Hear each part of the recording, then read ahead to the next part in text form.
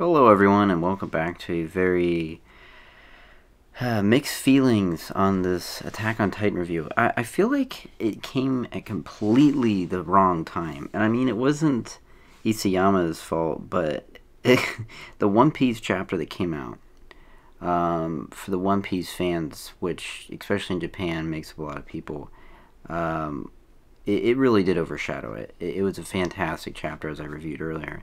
And not only that, I mean, even the, the lesser series like Black, Co- Black Clover did a fantastic nostalgic thing to a very beginning chapter. I think it was chapter one. Um, so they did a full circle, and it wasn't the greatest chapter at all. Not even worth reviewing, but that was a very memorable moment. So it, it just Attack on Titan came out at a very weird time, um, especially with the pandemic being whatever it is, still going on. But with all that being said, I was hopeful that some some things were going to get resolved, and some things were. Um, it is a beautiful finale in some ways. Uh, we open up with a. Uh, it's called the final chapter. Uh, called toward, towards or to, toward the tree on that hill, and it's pretty interesting because we we start with Eren and Armin, and uh, they're they're kind of in this um, sequence where they this was a conversation they had a long time ago and he was saying you know does, does humanity have to be extinct? You know do you have to do what you have to do Eren? do you have to kill everyone just because uh, you know the war with marley is on the way? Um, you know and it, it was interesting because Eren was saying you turned your backs on paradise. In spite of being island devils to stand on the side of humanity to the end you'd probably become the most respected beings in the world. So it does seem like Eren's kind of like he wishes that he could be those people, but he kind of feels like he has to be the sacrifice for all of humanity at this point. He says the rumbling will kill 80% of humanity. That's definitely shown, but it's weird. I thought it would like reduce humanity down to like 5% really. Um, you know, and then Armin questions whether he needs to go this far, and then it kind of like we see the character kind of age as they're going on. Um, and he was saying that this is the most important part about Ymir, anyways, because Ymir showed up in last chapter, and everyone's like, "Oh, Ymir's gonna do this, Ymir's gonna do that," but in reality, Ymir didn't do jack shit. And this is why, um, because Eren says to Armin, "How did how did I get here?" And he was like, "You said that the power of Titans continues to exist because Ymir has been obeying King Fritz for 2,000 years. And then he basically says, you know, long story short, that, you know, even after everyone was killed, even after her tongue was pulled out, Ymir actually loved Karl Fritz. And I was like, okay, I don't know what this has to do with anything. I mean, this is already information that we got. Um, you know, but I knew she was in agony, and that's why she followed me, kind of thing. She saw someone who'd release her from the agony of love that someone appeared, it was Mikasa. There's also this absolutely fantastic, one of my favorite drawings in the series uh, is of this um, Northern Lights thing with Eren and Armin. It's just really beautiful. But this is actually why. This is actually why Ymir believed in all of this and and let Eren do this. Because she wanted to have everything play out the way that it was. She wanted to be released from it because she knew that Aaron Eren loved Mikasa, but he knew that he he needed to let her go. This is what I think happened. And, and he's like, even Armin's like, what? Did you just see Mikasa? You know, um, and he even says, like, why Mikasa exactly? And it says only Yam- Ymir knows that, that one. As for me, I still don't, I don't even know. And before we get into this really cringy dialogue that Eren has with Armin, I think that the reason that that Ymir actually goes away and says, okay, maybe even grants Eren's final thing where the Titan powers are gone, as we see in the last part of the chapter. Spoiler, I guess, for the end of this review.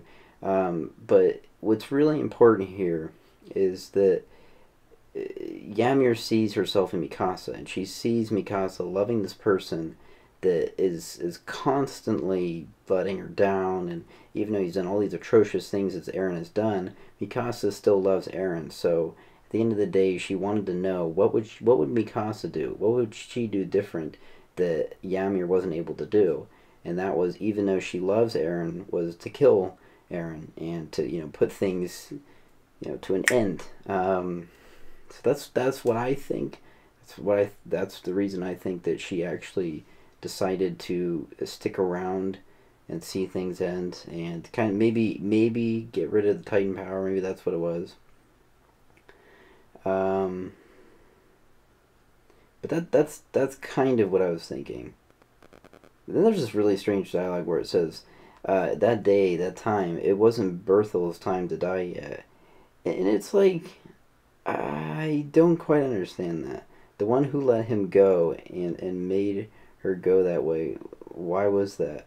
So I think it, it seems like um, Fritz uh, or Ymir Fritz was was was the person that literally was involved with everything. She it seems like she actually controlled Diane Fritz, her ancestor, which makes a lot of sense why she's able to do that, and walked past Bertholdt because in that scene is really weird how Bertholdt was thought he's going to get eaten and then he doesn't, and then eventually does anyways, and I don't know why Eren says it wasn't his time because it, it kind of was his time when you think about the fact that all Titans are zombies and you know what I mean. And so it, it is interesting that Ymir is behind all that stuff just to just to see this one point whether Mikasa was able to kill Eren. If and if she was, then she would leave humanity. Like she'd be I'm done. You know, in this plane of existence, uh, which is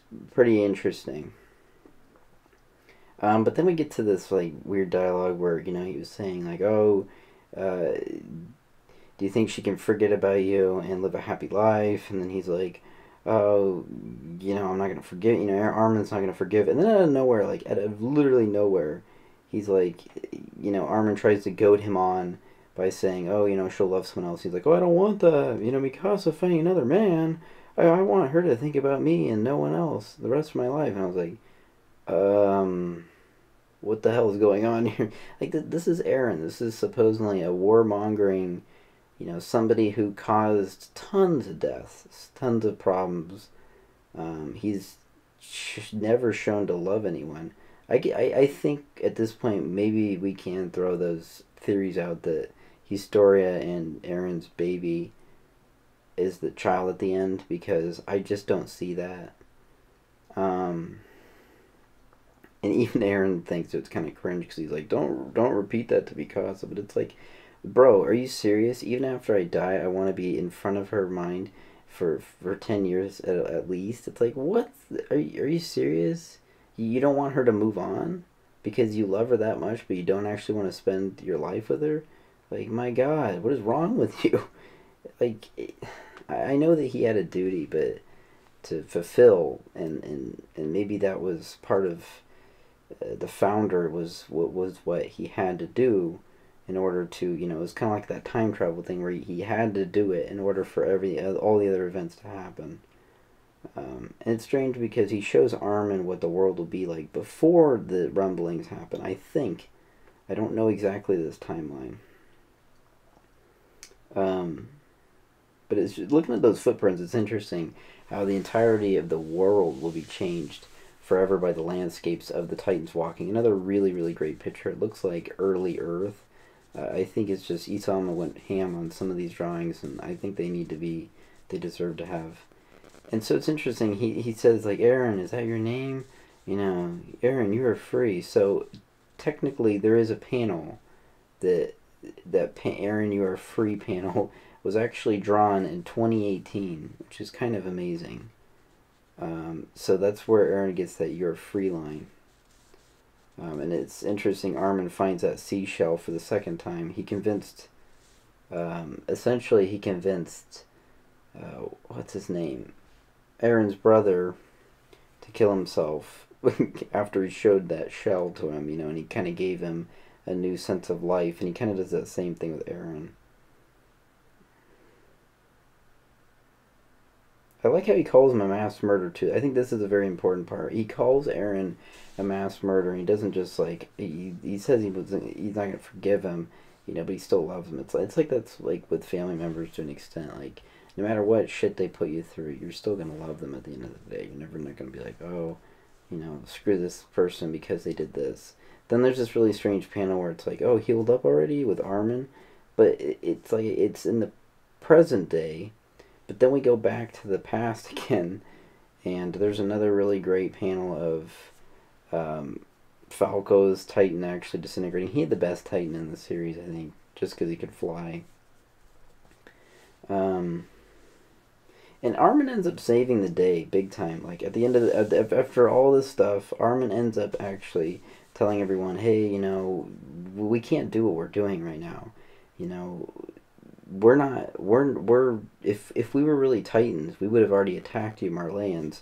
So it's interesting how eren said, "You're going to be the savior of the world," and he was, because he literally, you know, got them Marleyans to finally just go, "Okay, you guys aren't Titans anymore."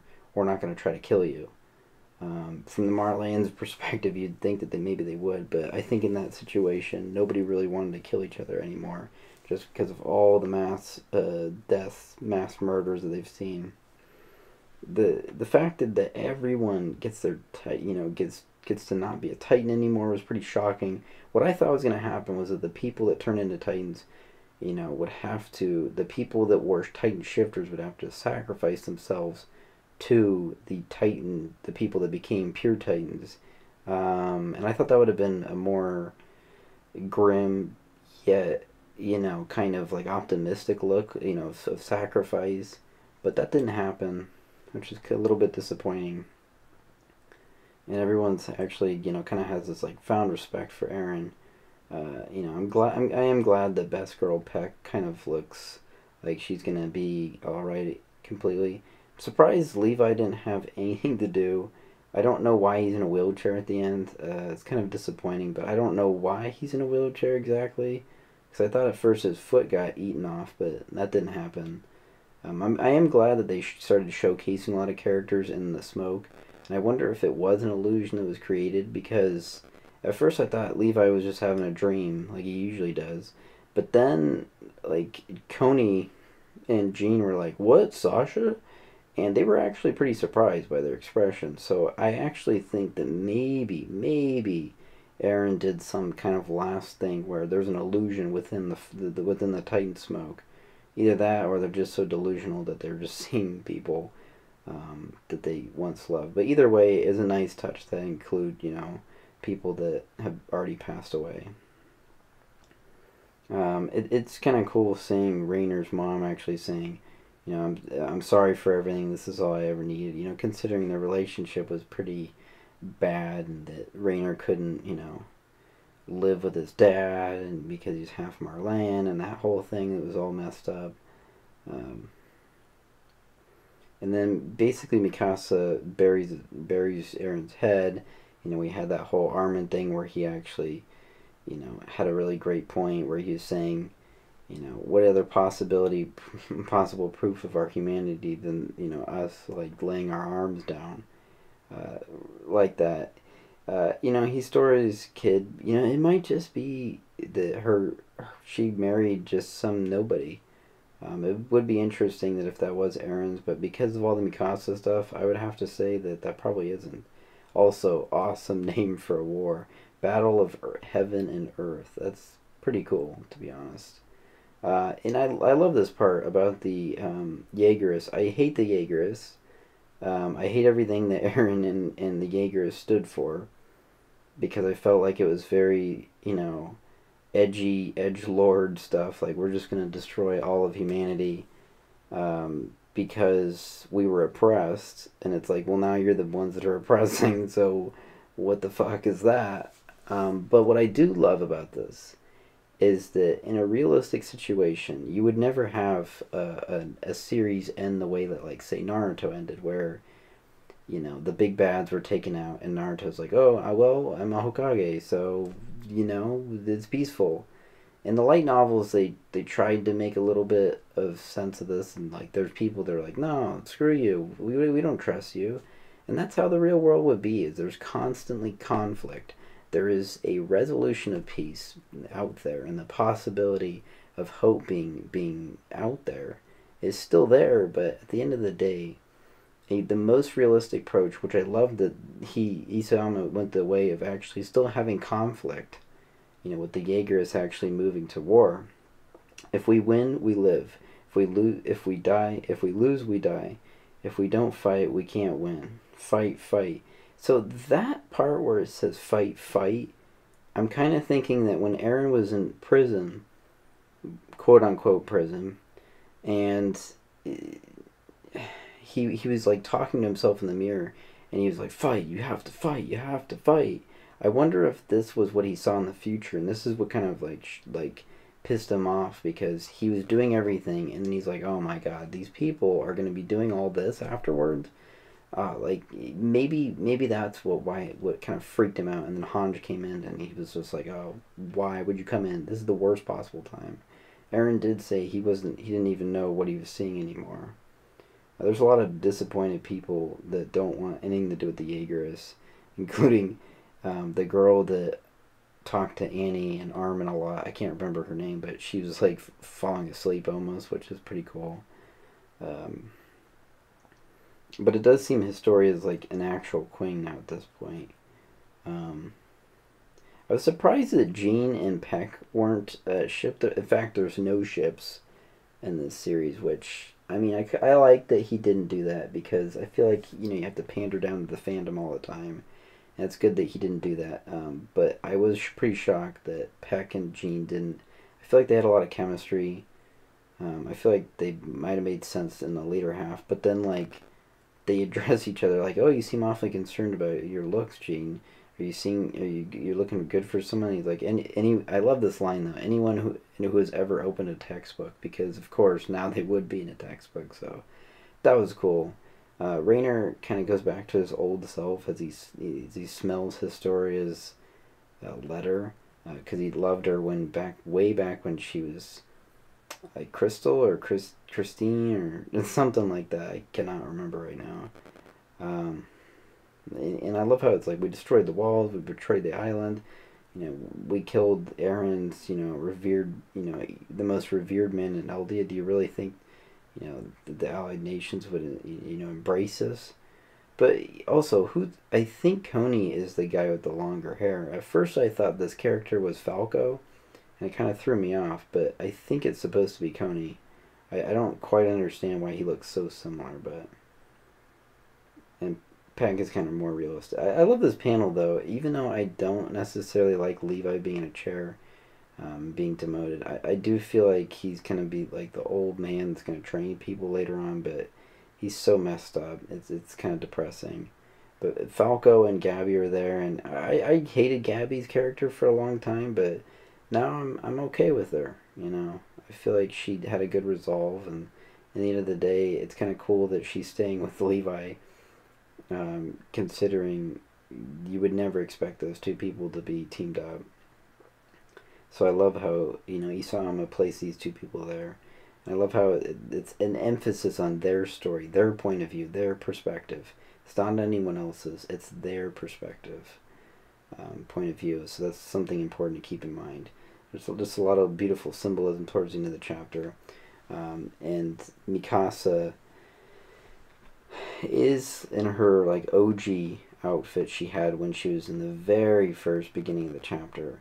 Um, and kind of like is in front of Eren's like kind of grave by the tree, and she says a lot of people will be coming to visit you soon, Eren." And uh, it, it, I don't know. It, I it's it's conflicting. I, I, I like how Mikasa kind of looks like her mom now, besides that scar on her face. Um, which I don't even remember where she got that scar anymore. I don't know. It, on one hand, I feel like they did a good job. You know, Isayama did a good job with closing a lot of loops. But then on the other hand, I feel like the series could have been more than what it ended up being.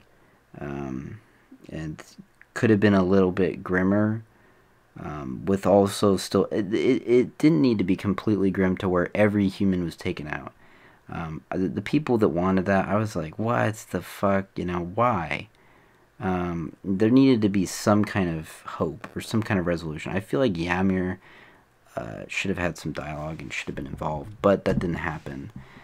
Um, but you know, I, I didn't even really feel anything for the end of the chapter until I, I started reading that thing where it was like, you know, the, the to the readers of Attack on Titan. And when I read that by the publisher, I was like, oh my god, you know, it it, it, kind of hit me. It, it, did hit me a little bit. You know, I, it was it was. I don't know. Maybe Isayama just wanted to leave it on a happy note after considering everything. Um, but there's a lot of people in the comments who were saying they absolutely hated this um, finale. And I have to say to those people, have you ever heard of Naruto? Have you heard of Demon Slayer? I mean, Demon Slayer uh, is a is a series that ended recently, and I remember reading that final chapter, and it was incredibly disappointing to see characters that had already passed on get reincarnated in essentially the same thing. So at least it's not that. You know, what we got here is nowhere near as bad. We got to see the main characters being alive. Um, there's no shippings, there's no pairings. The conflict is still there, so it, it's it feels almost like there's going to be a spin-off, which I hope there's not. Um, but it's just really odd. It's just a really odd series uh, ending. Um, but it, I I feel like it's good enough, you know. Um, I would say it's an, like an 8.6 out of 10 to be realistic. Uh, there were some disappointing things. A lot of some characters like Levi I wish did more, um, and there was more resolution with Gabby, but you know, it, it's fine. it's it's just not uh, like an amazing ending like I thought it might be. Uh, anyways, uh, I've rambled on long enough. Um, it's been really interesting. Hopefully, I do the season.